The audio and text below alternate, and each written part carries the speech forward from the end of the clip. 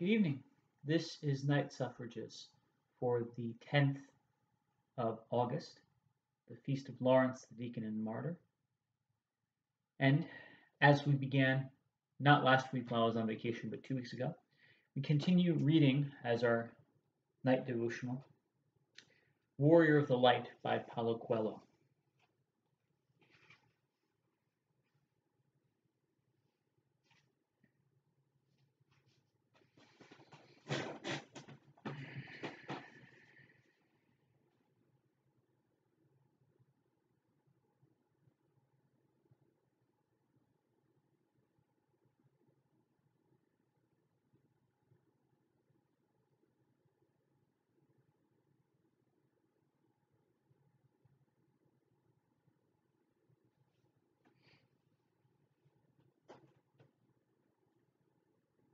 The warrior of the light sometimes fights with those he loves. The man who defends his friends is no, never overwhelmed by the storms of life. He is strong enough to come through difficulties and carry on.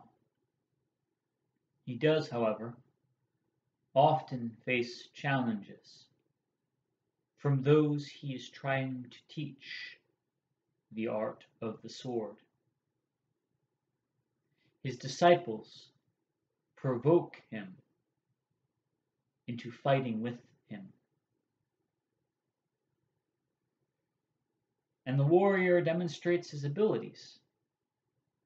With just a few blows, he disarms his students and harmony returns to the place where they meet.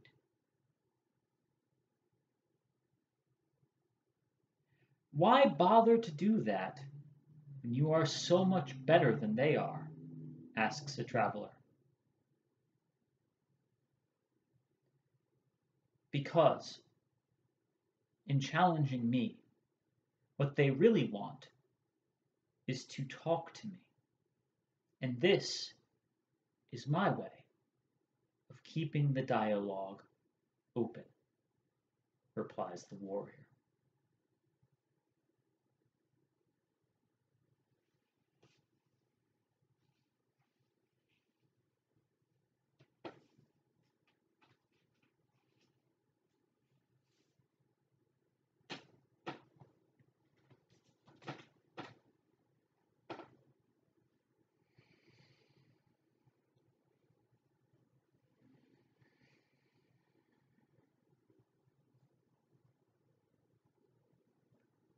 Holy God, holy and mighty, holy and immortal, have mercy on us.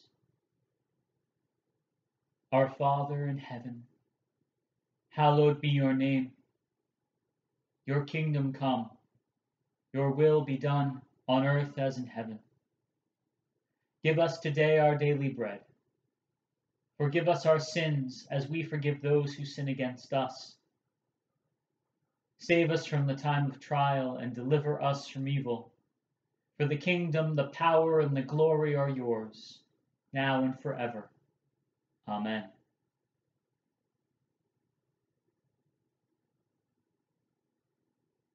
I believe in God, the Father Almighty, creator of heaven and earth. I believe in Jesus Christ, God's only Son, our Lord, who was conceived by the Holy Spirit born of the Virgin Mary, suffered under Pontius Pilate, was crucified, died, and was buried. He descended to the dead. On the third day he rose again. He ascended into heaven. He is seated at the right hand of the Father, and he will come to judge the living and the dead. I believe in the Holy Spirit, the Holy Catholic Church, the communion of saints, the forgiveness of sins the resurrection of the body, and the life everlasting. Amen. Show us your mercy, O God, and grant us your salvation. Give us the joy of your saving help again, and sustain us with your bountiful Spirit. Give peace in all the world, for only in you can we live in safety. Keep the nations under your care, and guide us in the way of justice and truth. Let your way be known upon earth, your saving health among all nations. Let not the needy be forgotten, nor the hope of the poor be taken away. Create in me a clean heart, O God, and sustain me with your Holy Spirit. Lord, hear my prayer, and let my cry come before you. The Lord be with you. Let us pray.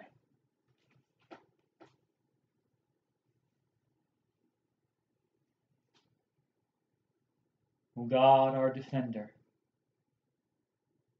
storms rage around and within us and cause us to be afraid. Rescue your people from despair. Deliver your sons and daughters from fear. And preserve us in the faith of your Son, Jesus Christ, our Savior and Lord. Amen.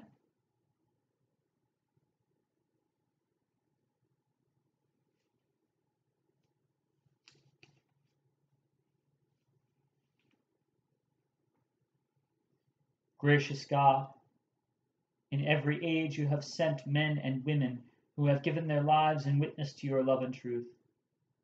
Inspire us with the memory of Lawrence, whose faithfulness led to the way of the cross, and give us courage to bear full witness with our lives to your Son's victory over sin and death, for he lives and reigns with you and the Holy Spirit, one God, now and forever. Amen.